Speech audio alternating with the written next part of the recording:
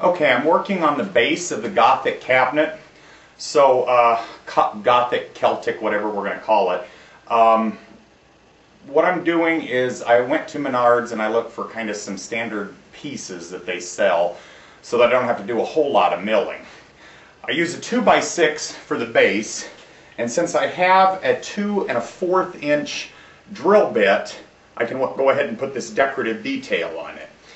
Um, I'll show you how to cut that here on, on this one I'm working on.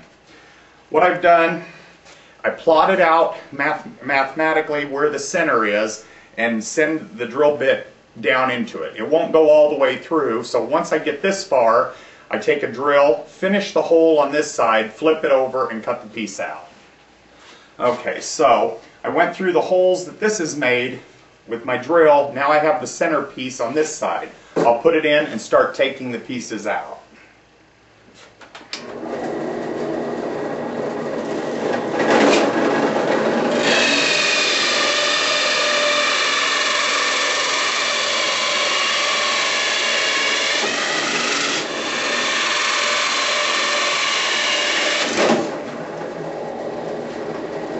Good idea to clamp the work down because you'd hate to end up ruining your piece before you even get a chance to put it together. And there was a knot in that, and that's why it kicked. Okay, so kind of a nice little Gothic uh, shape, or Celtic, whatever you want to call it. What I did is I centered it on each, on each piece. Now, the pieces on the bottom of this, um, what we're doing is, is uh, cutting it so that there's a, instead of just a 45, we're taking it 22 and a half so it has an octagonal feel. Again, this is the base cabinet. We'll glue all of these together, put our base board on, and then start to build up.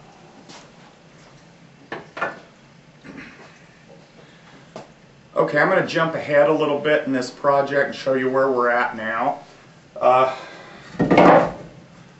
we've got the uh,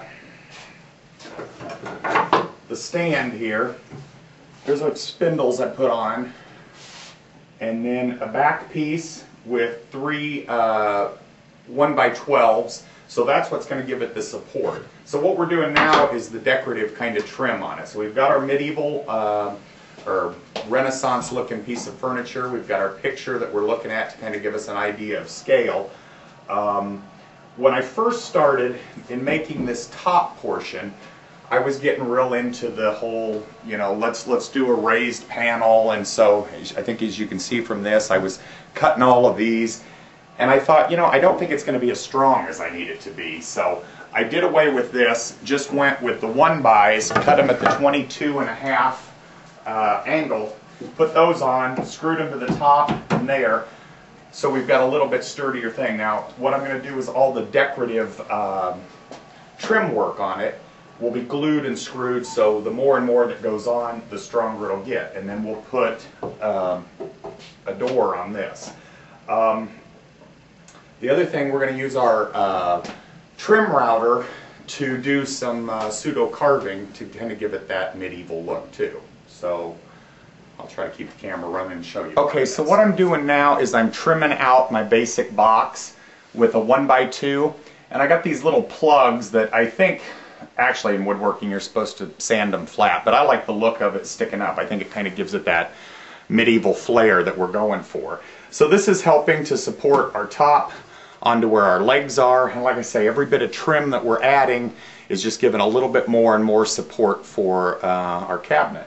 So what I'll do now is start working on putting a decorative top on that will router out.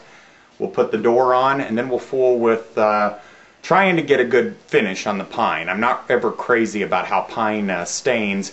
If we don't like it, we can always paint over it.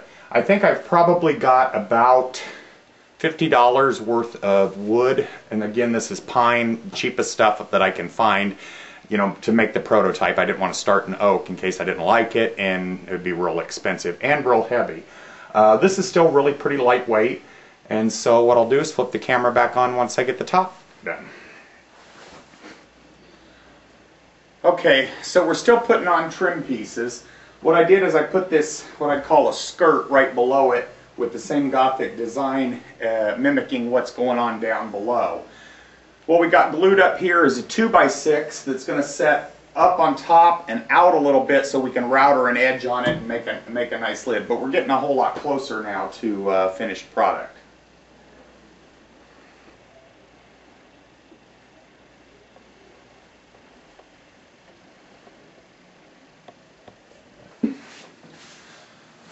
Okay, so what I'm doing now is these are panels that are going to fit on uh, the outside of the thing. I've drawn on the Gothic arches and I'm using a trim router to carve it out somewhat. Uh, let me go find the, where's the one I got done? Let me go get it. Okay, so you can see I put the Gothic arches on, um, used my trim router and just carved it out a little bit. So, and then what I'll do is take it to the table saw, bevel the edges, and I'll just glue this on our cabinet to kind of give it that medieval look. Might even possibly use the drill press and put a few uh, holes like a church window would be in that to just give it more of a gothic, uh, gothic look to it. On the uh, parts where I have where I have a definite uh, straight edge, I usually will use either the uh, um, the guide or I'll clamp a square on because then it, if you have a long straight line it just looks better if it's totally straight than if you try to freehand it it tends to go a little bit. Also with this uh, you could use I built this out of plexiglass that the router sets in and there's holes every half inch and inch so I can get circle cuts. So if you wanted to on your arches, you could get those perfect. They're so small, I've just been doing them by hand though. Um, yeah, so that's, that's what I see.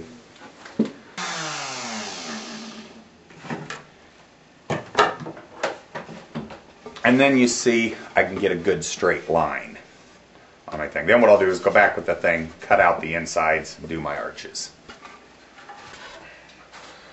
Okay, so I got everything uh, routed out, and what I did was took it to the table saw and beveled the edge around it. So now I've got my Gothic panel that I'll just be able to glue onto the, uh, the cabinet over here.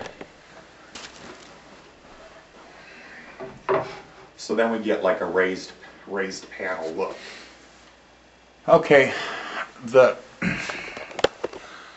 the pine I got from Menards is eh, crappy kind of wood. A lot of checks and twists and, uh, you know, it's not built, has not been making this building real square. So for sure we're going to paint. We're not going to stain. Um, I'm going with kind of a reddish uh, burnt sienna color. And what I'm doing now is I'm filling in any gaps where the wood's checked with a dark caulking uh, before we put the paint job on it. The uh, cabinet itself is not super heavy because it's made out of pine. Uh, probably total in wood I'd say about 60 bucks worth of stuff uh, that I had to buy. Uh, other pieces, you know, 2x4s and stuff I had. The most expensive being $7 a piece for the Put upside down and I've put on the first coat of what I call kind of a burnt sienna out of the red family. I just went to uh, Menards, looked through the patches and found a color that I thought, but it does, definitely has a reddish look to it. I'm not real sure that I'm going to put a second coat on it because the whole idea is we want to age it and make it look super old. So you can kind of see, I hope from the camera, it's blotchy as the one coat went on.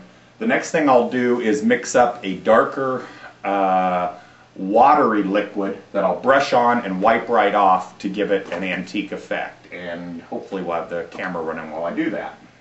But first thing I do, flip it upside down to get all the parts that it'd be hard to paint the other way. Then I'll flip it back up, finish the painting of the one coat, and then go in and start to darken it.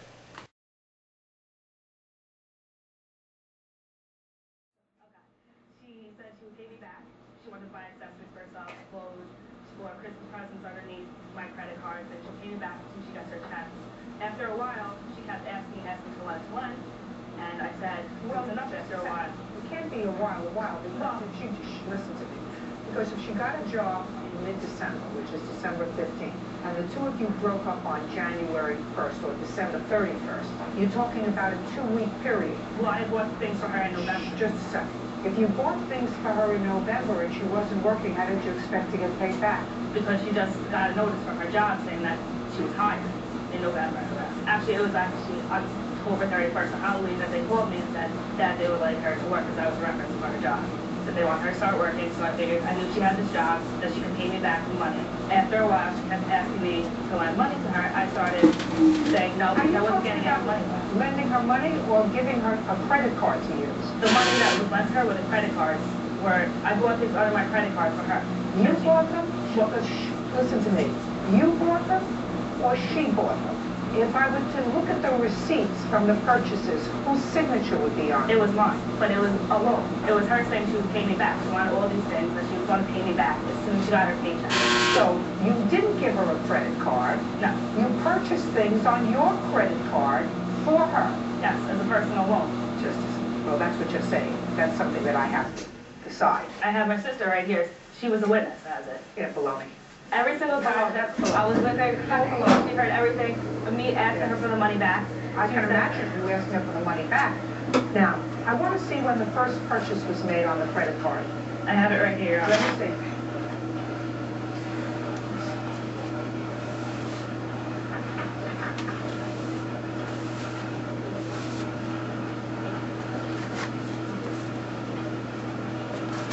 I don't have no idea what you're showing me. You're showing me a Best Buy card. I have the receipt also, Your Honor. You're showing me a Best Buy card for interactive software, digital communicado patro, I don't know what that is. It was all included in the speakers and the radio that I bought her. I have the receipts right here. Best Buy reward, I don't know what this is. That's a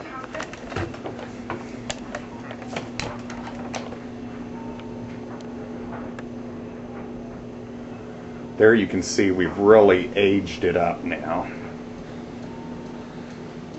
Okay, we got the Gothic cabinet finished, painted, got the hardware on it, the door with the uh, trefoil carved into it. So now it's ready to go set in the office.